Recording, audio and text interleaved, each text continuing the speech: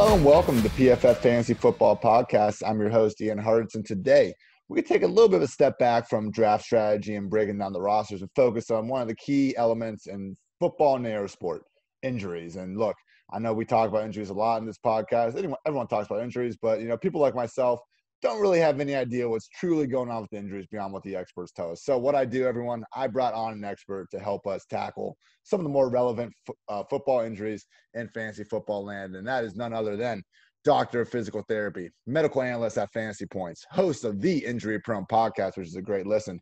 Edwin Porras. Edwin, what's going on, man? Not a lot, man. I appreciate you bringing me on. I know you were on my podcast uh, a couple weeks ago. That was a good time. You were spitting straight flames, and uh, I'm ready to go. I'm trying. I'm trying to replicate. I'm trying to reciprocate what you did for me. For sure, man. That was a good time. Always good talking to you. And again, man, this is so so, so crucial because again, you know, I hear you know a shoulder injury or a knee injury, and obviously that could be one of any of hundreds of things, literally. And we we end up trying to loop them all together. So everyone, check out Edwin on Twitter if you already don't know him. He's at FB injury doc. Guys always got you know n- not only just a medical opinion, but usually you know years and years of information about uh, the issue at hand to help back up whatever his stance is. So love the work, and let's get to it. Edwin, first question man. Is Carson Wentz truly injury prone, like the haters suggest? Because you know, from my perspective, it seems like more of an issue of repeated bad luck than anything. Uh, yeah, I mean, you're exactly right. You nailed it. It's repeated bad luck. He's had since since he was at his uh, since he was at North Dakota State. He fractured his wrist. We know that the wrist that doesn't follow him anywhere. And we know that it hasn't. The research shows that wrist injuries don't follow players the way that they do other injuries. Um, we know that his ACL, it takes about 12 to 16 months for that to get better. So his ACL is better. We also know, according to the literature, that it doesn't affect quarterbacks. ACL tears don't affect quarterbacks literally financially, is what the, what the papers say, or physically. So they're able to perform after that. We know that he's ran into this this idea that you know quarterbacks shouldn't run but as, as, you mentioned on the ross tucker podcast you gave me a shout out that rushing quarterbacks aren't necessarily more prone to or susceptible to injury than than non-mobile quarterbacks um, there are just so many things like his rib fracture right he had a rib fracture at one point that's there's one rib rib fracture per player per team every season in the NFL, and it just happened to be Carson Wentz. Like, what are the chances that even happens? His concussion obviously was from a cheap shot. I mean, all of these injuries that you sort of stat, it's not like he's getting one specific. Like it's not uh, like a player that we might talk about, like like James Conner or Will Fuller. Like it's not that's not the case with Carson Wentz. Like he falls into the unfortunate category of 2.3 percent of NFL games are uh, don't have an injury, literally, and so he just happens to be the one unlucky player who he's fallen in that 2.3% or that I mean the other 98%, 97% that are getting injuries. So yeah, man, he's he's he's on a rocket ship this year. I think that he's gonna he's he can stay healthy. Um, yeah, I'd be whatever his. I need to look. I haven't looked at the Vegas total for how many games he'll he'll play, but I'd be willing to hammer the over because the narrative has just gone way too far. Oh yeah, I mean, I just looked at the uh, Seahawks injury had in the divisional round, and it's like, yeah, Clowney comes over the top and just spears the dude in the back of the head. You can't blame that on Carson Wentz and write that off as injury prone. And yeah, man. So yeah, your research has shown that you know you don't want I mean, okay, pocket QBs can obviously win in this league, but you know, you, you look at injury rates, and yeah, it, it's not like a pocket QB that's never leaving the pocket is any less injury prone. In fact, it seems like someone that can move a little bit, avoid these head-on collisions, maybe a little better because they're a better athlete, and get out of the pocket when they need to, and not be you know a stationary target. Those are the guys that actually end up being you know a little less uh, prone injuries. Yeah, exactly. You got that right. And I'm looking for that exact uh, those exact statistics that you're talking about. I know I bookmarked them. People ask me about them all the time. Um, and here they are, right? So you got a you got a quarterback, quarterbacks uh, excluding kneels uh, by by play type, right? So you're looking at essentially scrambles. There's there are 23 injuries, or I'm sorry, there are 100 every 107. Jesus, what am I looking at here? My bad. All right, so there is an injury on 1.8% of quarterback knockdowns in the pocket. There's an injury on 1.3% of sacks. There is an injury on 0.9% of scrambles. And on design runs that are not kneels, there's an injury 0.6% of the time. So you're seeing that stepwise decrease every time they take off. Sorry, it took me a while to get going there. I was going over and over again. All good, man, and uh, good stuff all around. So moving on to another mobile quarterback, and this guy's a little bit more, but Cam Newton. And you know, I I do hate when we break down these players and we look at you know their uh, potential range of outcomes and you know what people land on just oh he'll get hurt and you know without assessing anything else. And I think that's a little bit of what we were seeing with Cam Newton at first when he got the Patriots. You know, some people really thought it was a competition between him and Stidham and Hoyer. You know, I don't have time to talk about all that, but I think uh, more in the narrative was like okay, like Cam, he just can't stay healthy anymore. It has been a while, man. The shoulder injury in 2018, the foot injury last year, looked like a shell of himself when he was trying to play through it. Understandably, I mean, those are two worst quarter worst injuries you could probably imagine for quarterbacks. So, uh, what do you think of Cam Newton's chances to make it through the entire 2020 season? You know, based on you know him apparently being healthy right now and going through training camp uh, in a good spot. I think he can do it, man. I think that he's got a lot of untapped potential this year. So we know that based on all the reports, especially there was a point where they went and scoped his shoulder again, and they just basically put the scope in to see what's going on. He had no damage; it, it looked pristine. Uh, this was like two years ago. Uh, since then, he's had the foot injury. The Lisfranc injury is something that I I can't say for certain, but I wish that we could sort of rewind the clock. I almost feel like he did more damage by lying to the medical staff about his foot, right? I feel like that was something that maybe he should have held off on. Um, and and it ended up making it worse. And then they weren't going to do surgery, but then he ended up doing surgery. Like that whole situation was a mess. Now you're looking at a dude who is obviously like dancing out on the practice field, having a good ass time. Like he's he's doing he's he's doing what Cam does. Um, I think that I don't know if you saw uh, Bill Bell that picture of him and Bill Belichick uh, where Bill Belichick's like halfway smiling, like the biggest smile we've ever seen on Bill Belichick's face, right? Like the only, the only, uh, the only person I'd want to look at me like that I think could look at me with more intense passion is Patrick Mahomes last night with the Super Bowl ring. Like I think that's the only other person that's happier than Bill Belichick right now. So anyway, moral of the story, I think Cam can stay healthy. I think that the foot is is a a minimal concern. I'm not going to say it's zero concern. Uh, I just, I, and I've said this, I said this on Ross Tucker pod. I said this to Joe Dolan at Fantasy Points. Um, basically, this is the first time in Cam's life where he's got a coach who's better at his job than Cam is at being a quarterback. So, like, you pair all those things up with the fact that I think that he's ready to roll. I think that he's as healthy as he's going to be. Um, I'm excited for Cam, man. Man, Belichick was gushing over this dude the other day. I mean, he had a good, you know, 90, 100 second quote on him. And, you know, what we do, I feel like when Belichick just kind of, you know, scoffs at reporters and gives his one word answers, like that's usually what ends up finding its way, you know, onto the ESPN uh, air, uh, wavelengths and all that. But, you know, he'll sit back sometimes and give you like truly a thought out, you know, and uh, just a good answer from, you know, one of the biggest football geniuses the game has ever seen. And just talking about Cam, and he just could not stop talking about how hard this guy has been working throughout the whole process. Now that's always heard about from his time in Carolina, even, you know, going back to Auburn. It's just the guy is a grinder hard worker. I am rooting so freaking hard for Cam Newton this year. One, because I'm going to look like a silly fantasy analyst for having him in my, you know, borderline QB1 ranks this whole time. But man, that's just someone that I, I don't want to bet against because not only, you know, is he this hard worker who I think we can be confident is doing everything right to get on the field, but we just don't have any examples of a healthy, even a kind of healthy Cam Newton being on the field and not putting up, you know, legit top 12 production for the position. So cannot wait to see more from Cam Newton in 2020. All right, man. Moving on to running backs. Now you mentioned him before. I've been riding the James Conner hype train a lot this offseason, and I do realize there's injury risk. And, you know, from my perspective, I think that's already really being baked into uh, Conner's ADP. He's going almost as like a borderline RB20. I think that's creeped up a little bit, uh, you know, as we've kind of gotten closer to drafts, but he's just the cheapest feature back available. And even if that's come with the risk, I think that's already baked in enough into his ADP to feel uh, okay about it. Because I mean, if we could turn injuries off in real life like we can in Madden, I think Conner would be anyone's idea of a top five day back. I mean, Edwin, am I going to have to rely on you know half a season from James Conner, or do you think there's a chance that you know he can actually handle these 300 plus touches and you know live to tell the story? It's tough to say, man. Like, first, where are you getting your ADP? Because I'm looking at this fantasy football calculator that I put in my uh, in my profile for him. Last time I checked, he's at he's at the 212 in PPR. But I don't know where that source is is necessarily getting their information from. Um, but he's been on the rise since July at the very least. So I'd have to. We're probably looking at different, and that data is so like random anyway. I'm, I'm, I'm seeing him RB 17 I'm one of the uh, higher best ball ones. Fantasy Football Calculator. They, they have good historical stuff. I think sometimes they're a tad off, but okay. Either way. either way, no, no, no. Yeah. Um, I, I, just it just depends, right? Like you said, um, if it's best ball, whatever, go for it.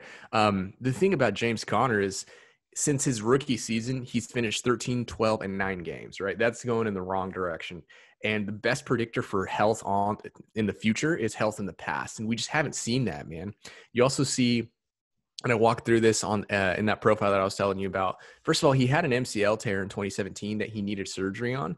That's not common. Only five percent, less than five percent of players who have an MCL tear end up needing surgery. So like that's a connective tissue injury. Then you look at his 2018 where uh, injury where he had a high ankle sprain. That's a contact uh, uh, connective tissue injury. The MCL was contact connective tissue. You look at 2019, he had the AC's shoulder separation that's a that's a contact connective tissue injury. That's a problem, man. When you're a running back in the NFL, you're supposed to take uh, you're supposed to be able to take contact or, or, or be able to take that contact on without injury at least. Um, we haven't seen him be able to do that yet since his since being a rookie. So when you say like, is there a chance? Like, absolutely, there's a chance. I just think there's so many factors that go into it that include his his previous cancer diagnosis potentially.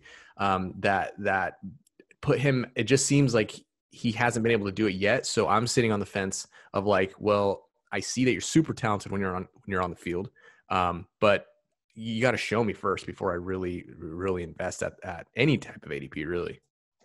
Yeah, and it's interesting because he was actually able to overcome their, you know, just atrocious situation under center last year, Mason Rudolph and Duck Hodges. I mean, the PPR RB nine in weeks one through eight before injury. And I mean, 2018, he was uh, again a top six back, and even more than that, just truly one of the more talented backs we were seeing. I mean, only Saquon Barkley and Kareem Hunt had more broken tackles than Conner, you know, before week 13 when he eventually had to leave.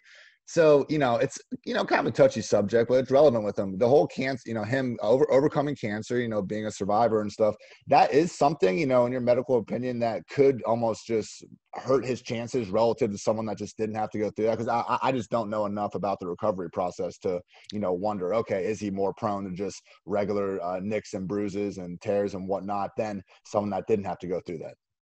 Yeah. So that's really, really, really really interesting question to bring up, man. And you put in the notes too. You said, "Is is James Conner a potential exception to that to the injury prone thing?" Dude, he might be because when you get radiation, when you get chemo, which he had Hodgkin's, uh, either Hodgkin's or non-Hodgkin's lymphoma, and the treatment for that, basically they just blast your cells, and the long-term residual effects of that, to be completely like frank, is we know enough to know like yeah that's probably not ideal if we were just blasting our, our body cells. We don't know how that's going to affect genetics. We don't know how that's going to affect the way our body creates connective tissue. I'm not saying like 100% definitively that's the case but when it comes to the medical research and all that and, and, and the nfl research i mean he's literally a, a case of one you know running back nfl running back we have um, that's a case study. We don't know how all those treatments affect. So dude i'm not the one thing i'm not saying is that when he's on the field he's absolute dominating force. Like he is. He's 100% 100% that.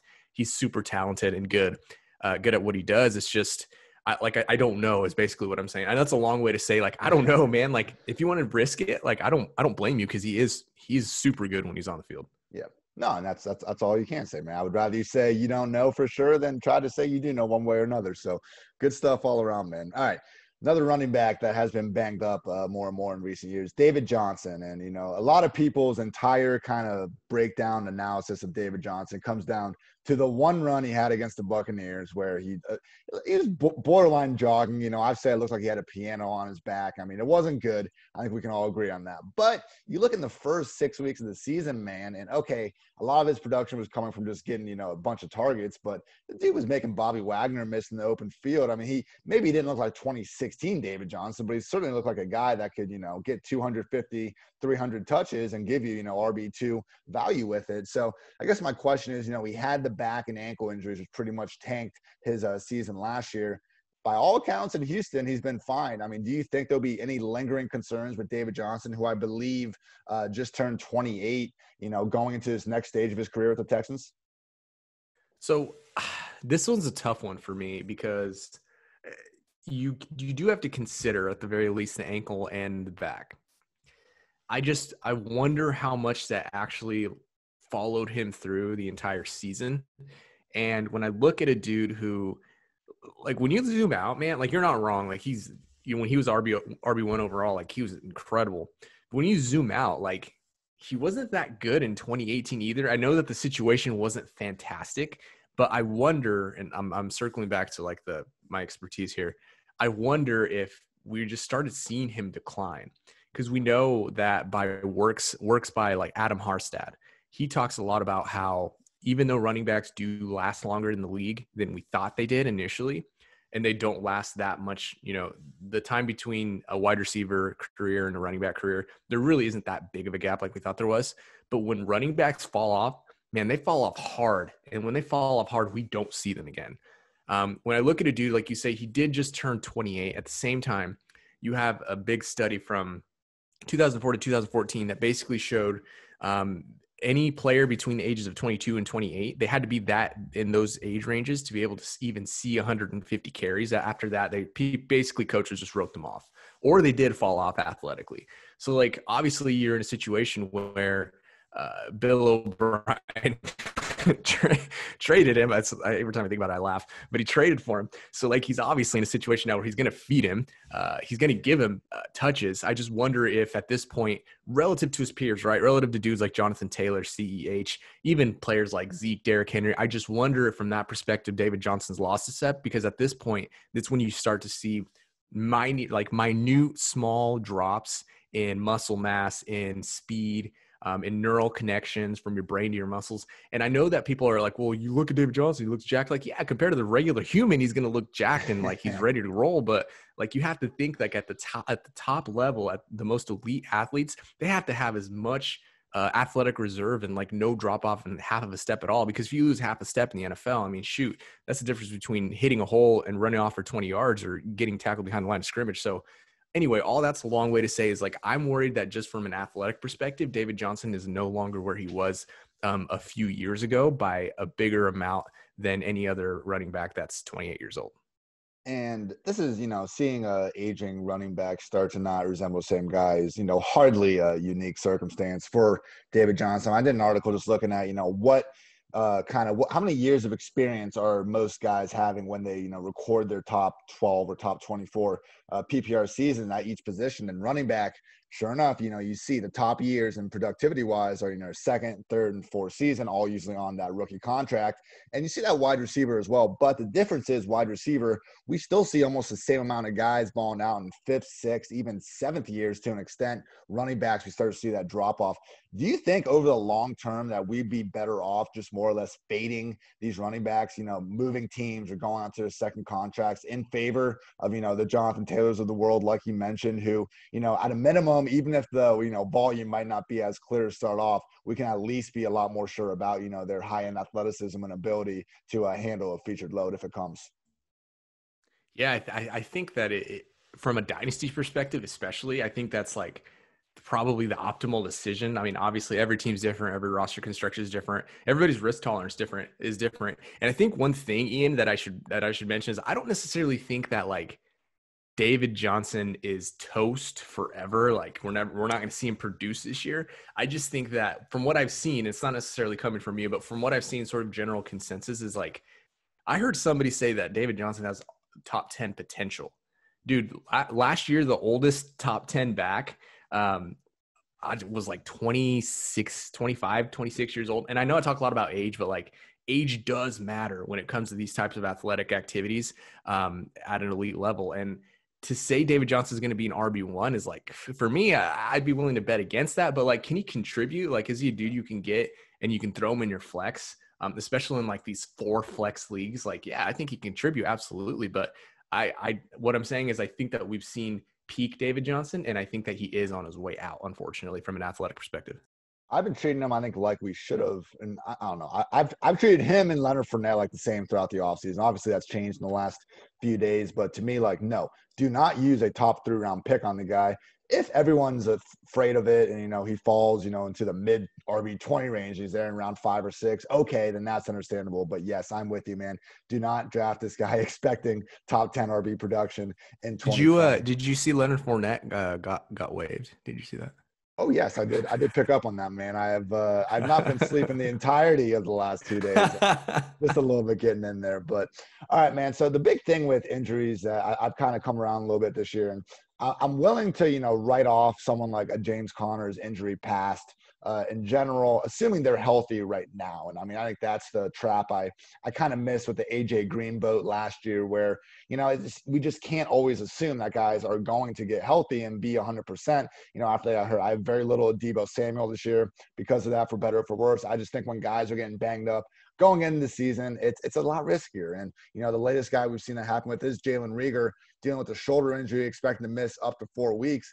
I mean, uh, I think from what I've seen, this is the same issue that just put Tyrell Williams on the IR for the entire season. Could you uh, speak a little more about uh, Reagor's injury and what your kind of expectations are for him once he comes back, and if, he, if he'll be able to play at the you know the highest level he's capable of?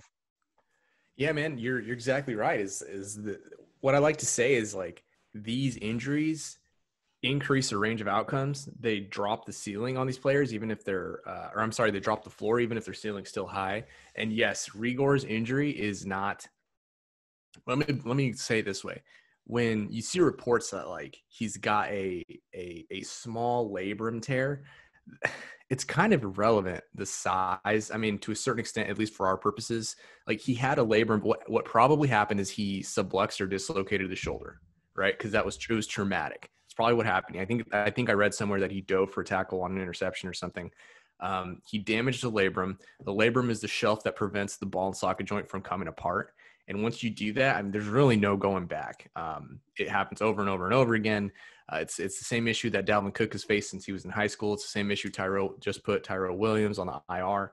Uh, it's the same issue that Anthony Miller's facing. He's he's had two or three dislocations and two surgeries in the last couple of years. Like unless he has surgery relatively soon, um, this is this is a risk, man. I mean, there's a 40 to 55 percent chance that he he redislocates this again and he's out for a lot longer. So, um, it's it's a touchy subject because he's so good and so talented, but uh, that is within his range of outcomes now. Is like he comes back week one, makes or I guess week two or three, uh, makes this badass catch lands in the end zone, and then boom, he's out again. Like then they're really going to have a decision on their hands. Is like you're a rookie. Should we shut you down? What are we going to do? So again, like talking about range of outcomes, his range of outcomes uh, have have have grown immensely since since I guess the beginning of training camp. Yeah, it's such a shame, man. I mean, to hear what the things he was doing in training camp, I mean, we, we all knew that his college production would have been better if the TCU QB situation had improved. But, you know, going into this year, I think Henry Ruggs was the only other rookie that, you know, had a clearer path to top of the team's depth chart. Might end up being more of a, you know, let's see him prove it out there, prove he's healthy before taking too much of a fancy risk on him. All right, another wide receiver that is, you know, a little bit banged up, but hey, he's practicing, seemingly healthy to enter week one. That's Jarvis Landry. Uh, you know, a guy that just kind of year after year, man, like the ADP is high and he smashes it. And we get back the next year and the ADP is once again, you know, in the 20, 30 range when we should all be expecting the guy to finish top 15, top 20. So, how concerned are you about this hip injury? And do you buy that he could enter week one near 100%. Because I mean, I, think it was March or whatever.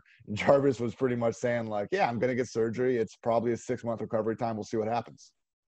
I was nervous when he, uh, when he took as long as he did to get that surgery but it's one of those surgeries it's the hip labrum now not the shoulder labrum. He he had that surgery and the cool thing about it is that there's a study showing that for that specific injury that it's not really after they come back it doesn't reduce their their athletic performance. And yeah man you're right. His adp is always just like super low. I really don't get it but when it comes to the injury and, and the and the surgery that he had fixing that labrum has, has never been an issue for him.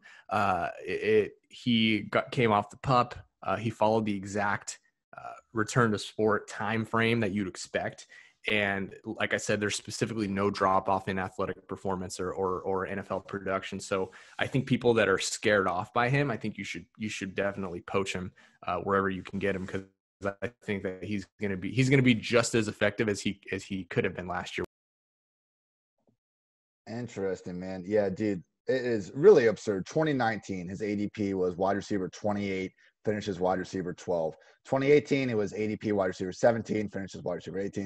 2017, ADP wide receiver 29, finishes wide receiver 5. And he had another big jump, too, man. It's just Jarvis Landry, you know, I, I think uh, he's one of those types of players, just the the kind of high volume slot receiver that isn't taking the top off the defense that, you know, I just tend to probably not roster and pick as high as I should. Tyler Boyd is another guy like that.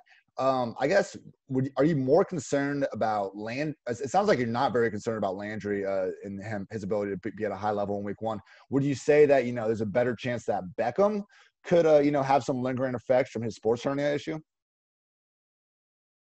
No, man. Uh, both of these guys, uh, it's weird because they both were so banged up in 2019, and then you they come out have this surgery. They both happen to have had a surgery that's so successful in their outcomes. Like not every uh, orthopedic surgery is successful. Uh, in fact, some of them can actually make things worse. But when it comes to Odell, it's uh, I talked about this. I've talked about this uh, at several different places. Like the surgery that he had is super successful.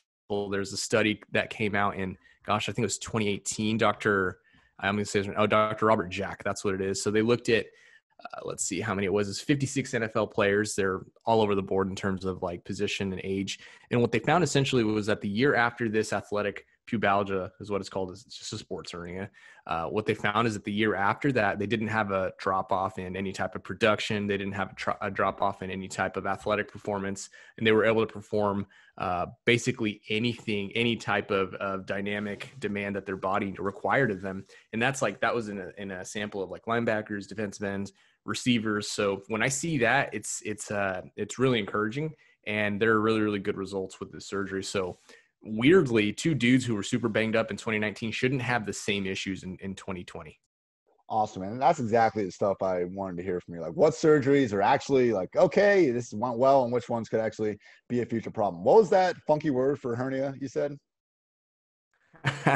Athletic pubalgia is, is a general pubalgia. All right, I'm uh-huh. gonna start using that throughout the season. I'm tired of saying you know hernia like re- like all these regular folk out here. It's it's simply yeah, uh, pu- I'll, I'll figure out the pronunciation later.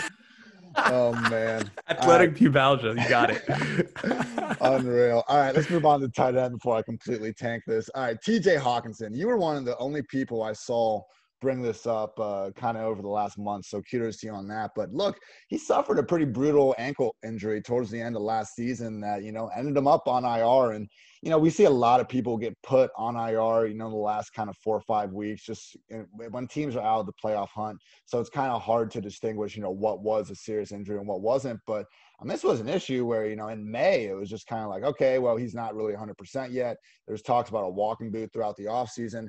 And we just don't, didn't really know how close Hockenson was to 100%.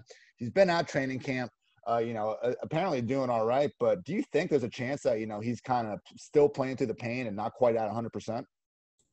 Yeah, man. And to be completely honest up front, I'm not entirely familiar with the specific procedure that he had because I'm I haven't seen a lot of it. They're just not and they're not very common. So he could be facing in 2020 a situation similar to to what Evan Engram is with hardware still in his foot.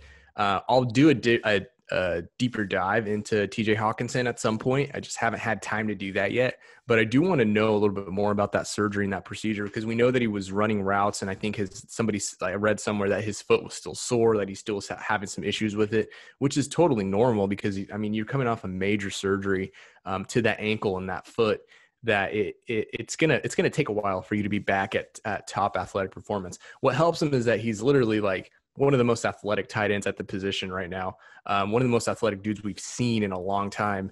Um, so that, that's going to help him. That always helps players coming back because they have so much more reserve available to them. This just could be something that lingers potentially. Ankle and foot surgeries are tricky, and if we if if we want to sort of bring it back to you know uh, Odell and and Jarvis, those surgeries they had are you know pretty much as as as good as they get.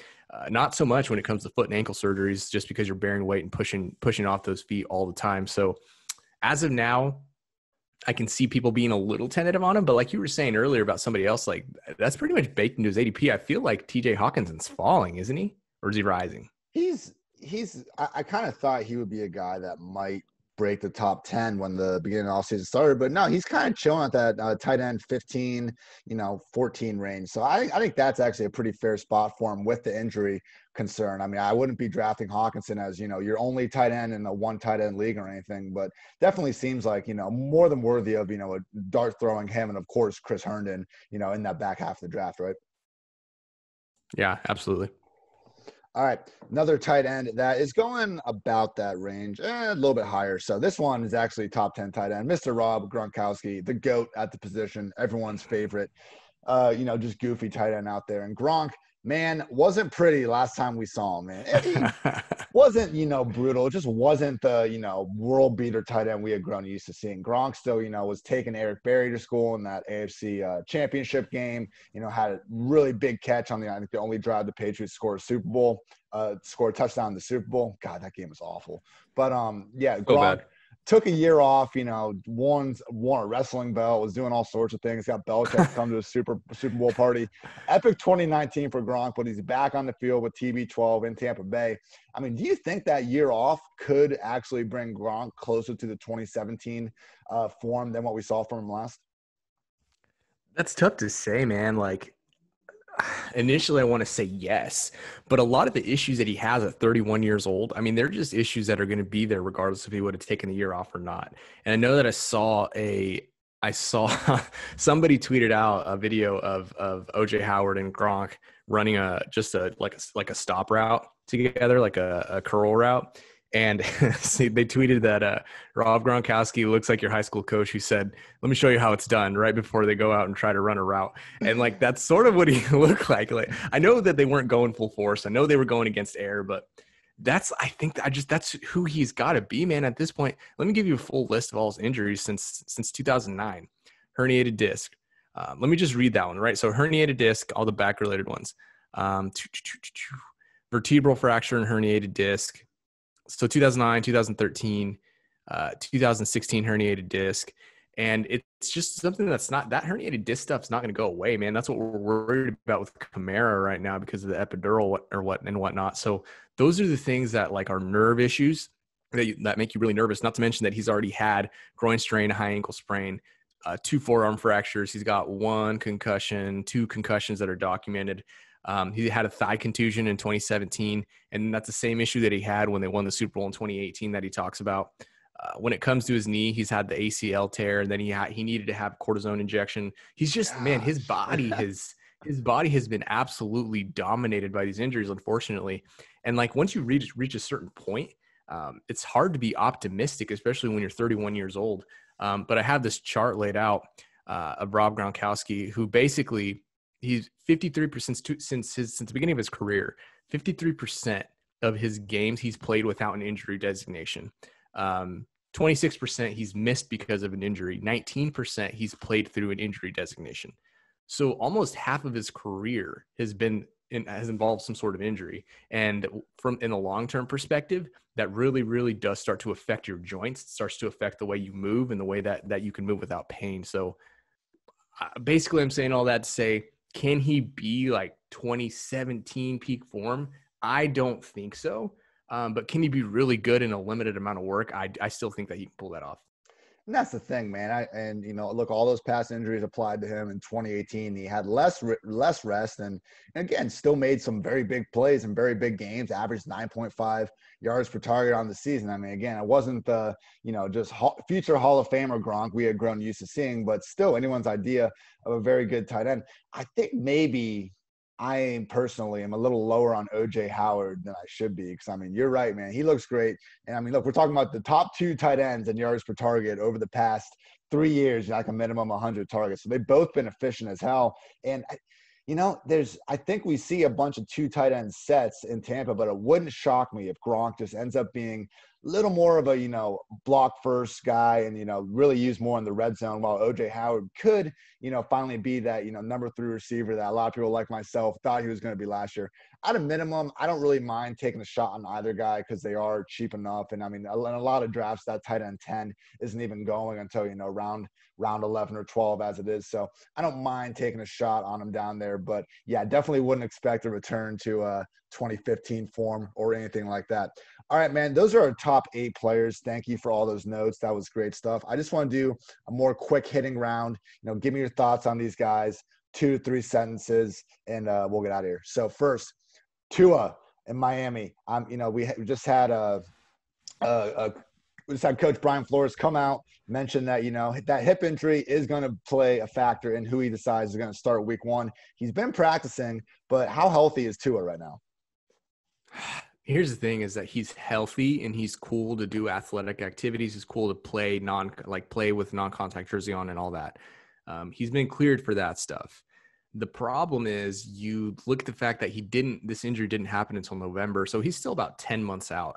And believe it or not, man, like bone density, which is a problem when you have a fracture like he did and a dislocation, bone density takes more than it, like a year, more than a year, 16, 17, 18 months to really get back to the point where it was. And the reason that bone, bone density is important is it because it prevents further fractures, right? Um, a lot of times bones can heal um, and and and that you can feel better, you can move better, you don't have pain.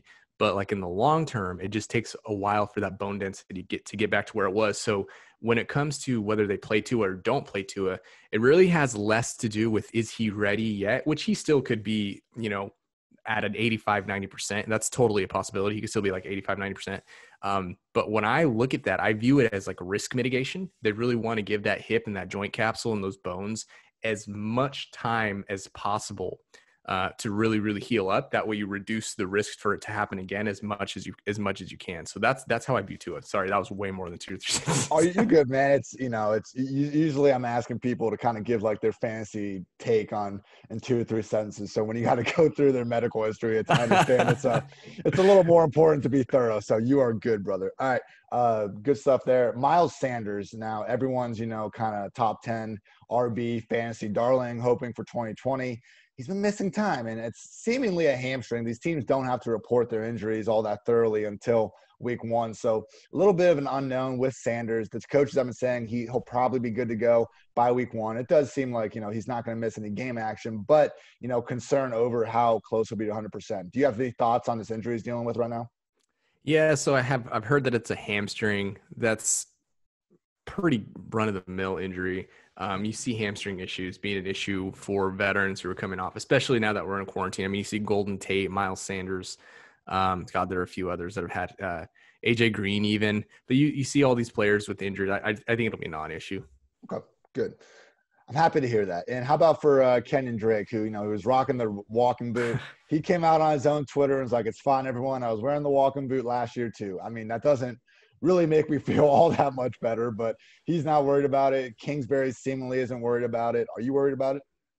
No, that's a quick all one. I can do right. that way. Fantastic, man. All right, AJ Green. We got an aging wide receiver.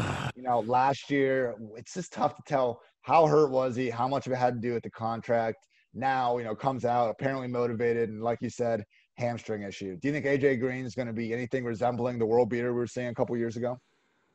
No, he's not going to come out and be the world beater that we've seen. Uh, here are a list of receivers older than AJ Green: Emmanuel Sanders, Larry Fitzgerald, Ted Ginn Jr., Danny Amendola, Julian Edelman. Those are the five oh. receivers who are older than than AJ Green. He's already had this history of hamstring issues and connective tissue injuries. This is unfortunately this is just who AJ Green is. I know he's got a lot of name brand appeal. This is just this is AJ Green. This the, he's on the sideline with a hamstring injury. This is him, unfortunately.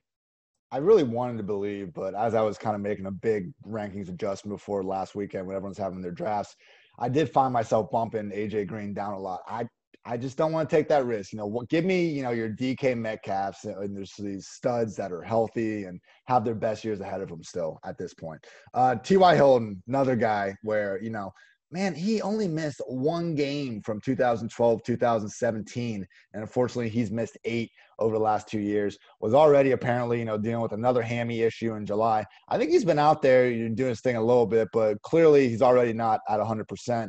Uh, what do you think about Hilton going to 2020? Yeah, I put Hilton in my red light tier at fantasypoints.com in my tiers, physical volatility tiers. Uh, I didn't expect him to like be in this position in the middle of July already, but he is a dude who's I think 30. Um, once you get to that point, you really start to see the decline athletically, like we talked about already. I think he's a guy that can still contribute in a way similar to David Johnson. I just wouldn't expect like world beating top 10 potential from T.Y. Hilton necessarily, especially from when it comes to like a raw accumulation of points. Cause I think he's going to, he, he hasn't the potential to miss a couple of games. It's going to be more important than ever for Hilton to, you know, really have that athleticism too. I think we're going to see way more of a dink and dunk approach with, uh, you know, Philip Rivers under center now in Indy. All right. Deebo Samuel saw a video of him, you know, in reports that he's running pretty fast, running pretty well. But, you know, this Lisfranc injury, you said it, man, before, like these ankle and foot injuries, it, it, makes sense when the guys are more sore and, you know, we should be paying attention to those. Personally, man, I don't know if I've even gotten Deebo in a single draft uh, since this injury came down. Do you think that he's had enough time to recover and resume kind of being the guy we saw in 2019? Or is this an issue that you think fantasy investors should be extremely wary, wary of? Uh, so it depends, I think, because somebody tweeted at me uh, earlier this week and was like, "Yeah, I just got Deebo Samuel on the 15th." I'm like, oh, all right, okay, yeah, man, okay. take it. yeah, exactly. So if that happens, I mean, yeah, I mean, go for all systems go. Um, there's about a 10% refracture rate. It seems like his his rehab's coming along nicely. It seems like he's going to be right on that 10 to 12 week timeline that we talked that I talked about back in June. So uh, as long as you know that you there is a little bit of risk there, more so than there was before the injury happened, obviously. Um, but I, I, think that he's a dude that can come out and perform. I think he's a dude that can still show out. Um, and God, man, that that wide receiver room is just so banged up right now. Like at some point, it, it does come down to volume to a certain extent. Yeah, the 49ers and Jets are just so banged up right now, wide receiver. Hopefully, those guys can get healthier. All right, really smart thing I thought you said earlier was that, you know, the best predictor for future injuries is what happened in the past. And, you know, referencing James Conner, you know, missing more and more games by season. Another guy that applies to is Evan Engram, 15 games in 2017, 11 in 2018, eight in 2019. He's a top five tight end in real life and fantasy anytime he's on the field. You know, good reports coming into 2020, but how confident are you that Engram can, you know, put together even, you know, a 13 ish game season? Confident ish. Uh, you didn't I say that very confident ishly. Here's the thing, man, is I think that Engram can play, you know, 13, 14 games um, outside of the concussions. You got to be careful with the concussions. When it comes to his foot, which is what I'm the most concerned about, um, I think his it, it's the, the problem with him is going to be consistency. Uh, I think that uh, just from an athletic perspective, I think we're going to have Sundays where he's – looking good, he's feeling good, and he's looking like he's feeling good. I think that there are other times where he's going to wake up and be like, man, fuck, my foot hurts. You know what I mean? And I think that we're going to see that on the field. I think it's going to be the up and down. Um, it's going to be one of those things that you have to decide on. It's like the mean median type thing. Okay. Okay. Makes sense, man. Well, that's going to do it. Thank you again for coming on, man. I really think uh, you helped put a lot of context around these injuries, you know, knowing that, okay, not every shoulder uh, injury is created equal. And, you know, yeah, just I would tell, tell everyone out there, you know, uh, keep all these, all this in mind. And, you know, when you're going through your drafts, looking at the value, just, you know, hey, is this guy in the wide receiver three range only because of this injury? Like those are the guys I'm willing to take a chance on. You know, not so much if uh, you know it's someone you're reaching for. You know, in the third round, like you know your David Johnson or James Conner. Probably not do that. Although I'm still going to the bank with my guy Conner a little bit. So, do it, man. Uh, do yes, it. You sir. got to. All right, and Edwin, you are on Twitter at FB Injury Doc. You're doing fantastic work at Fantasy Points. Anything else you want to plug, man? Nah, man, just injury prone fantasy football podcast, uh, fantasypoints.com, all my written stuff. I appreciate you having me on, man. It's a good time. Yeah, bro. Always good talking to you. So that's going to do it, everyone. He's Edwin. I'm Ian. This is the PFF Fantasy Football Podcast. Thank you all for tuning in. Until next time, take care. Thanks for watching the PFF YouTube channel. And if you want to subscribe, all you have to do is push the button. Don't forget everything you get. A little fantasy, push the button a little green line for the gambling aspects of the game, push the button. College football, push the button. The YouTube channel from PFF.